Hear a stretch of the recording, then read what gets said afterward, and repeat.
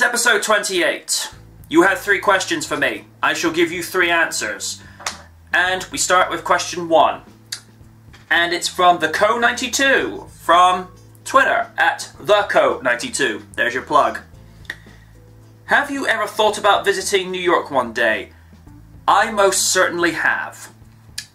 New York is one of those places in America that you have to visit at least once in your lifetime. Now, I have, sadly, not been afforded the opportunity to do so just yet. I got the opportunity to go to Los Angeles last year, as most people know, where I covered Knight Rider Reunion that did, you know, did very well. So, made a difference there. And Los Angeles was a blast. I'd love to come back again one day because uh, Los Angeles is a great city. It, you know, I would love to have been able to explore more of it.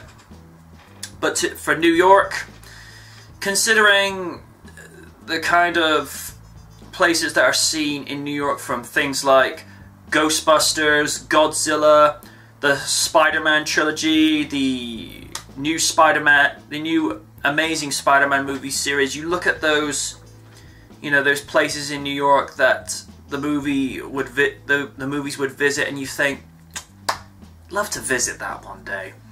Now, as most people know, Random DCE, Helsing 920, the mighty one, Harrison, and just keep this in mind, in the mother effing house, got to go to New York four years ago. And as most people know, Random DCE got to meet the legendary Lily Livers, the Queen of the Rants. And I have to say this, Lils, we miss you on YouTube. Please come back. It's not the same place without you. Um, but yeah, I'd love to come to New York one day. An amazing city. The people people there are great. From what my brother told me from when he went there, I said, you know, dude, you gotta go. You gotta come here one day. Seriously, you gotta go there. So yeah, I do want to go to New York one day. Might happen in a year from now. Who knows? Question two from that psycho reviewer. He says, "What are your favorite nostalgic nostalgia critic reviews so far?" I enjoyed his double review of Adventures of Sonic the Hedgehog and Sonic the Hedgehog, also known as Saturday Morning.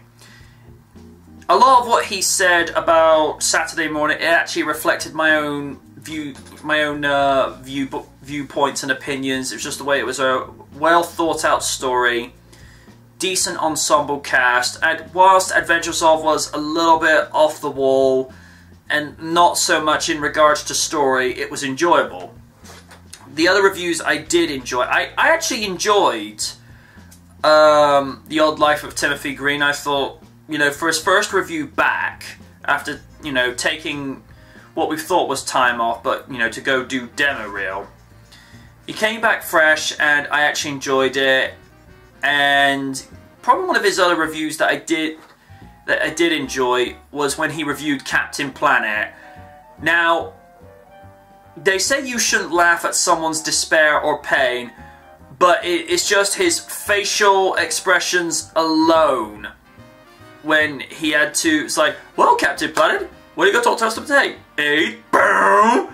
You, you've been tested positive. Stop! Desist! Get out of there while you still can! I enjoyed that because Doug does really, really good physical comedy.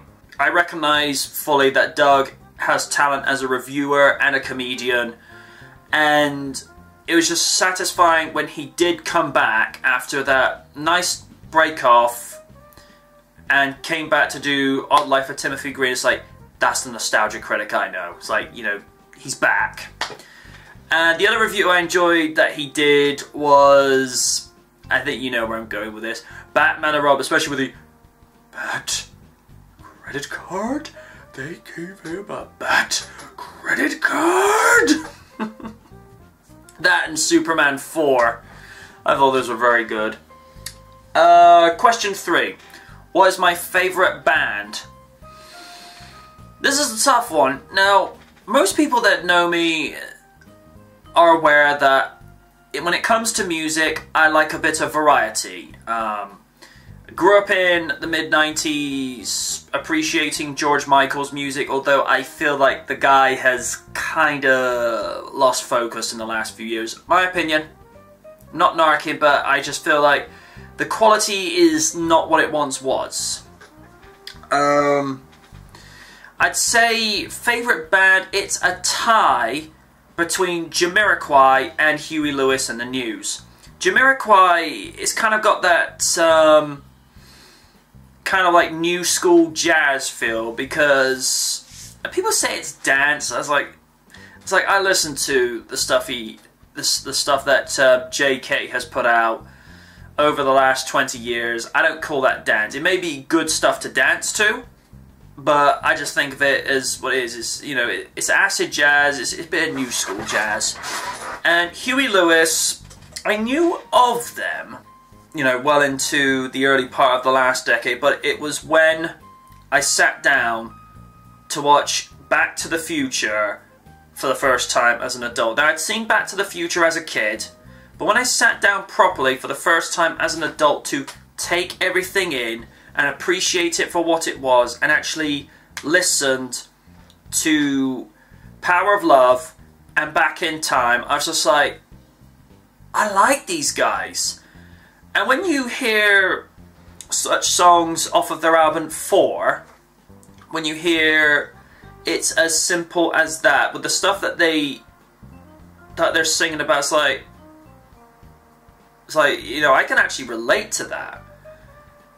It's in a sense that, you know, what they were singing about some 25 years ago, it actually makes sense in today's in today's society, in today's market. And Huey is is one of those guys. I think he's sorely underrated. I noticed they kind of dipped off the off the radar towards the end of the 80s and into the 90s, and that's and it's a darn shame because Huey Lewis is a very very talented musician, and I don't know. It probably would have helped if more movies like Back to the Future had picked it, you know, him and it, him and the group up for, you know, more songs to do for to do more soundtracks for movies. But it is what it is. But yeah, Jamiroquai and Huey Lewis and the News as my as my favorite bands. So at the end of episode 28. The place to send your questions to is Facebook, Twitter, and the comment section below. And don't forget to subscribe to blip.tv forward slash the MJ Knight for more updates. Until next time, class dismissed.